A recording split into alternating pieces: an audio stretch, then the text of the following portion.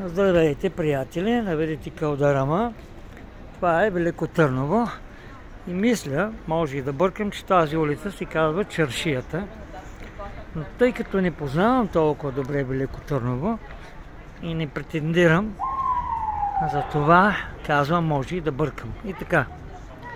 Тук тази сграда много ми хареса, защото е с овална форма. Кръгла форма, доста е запустяла.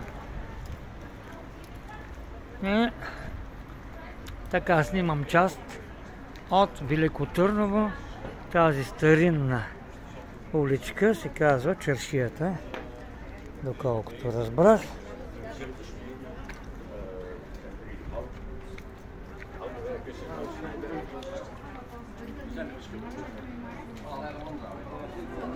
Maar dat is ook souvenirwinkels. Ja, ja, ja, ja.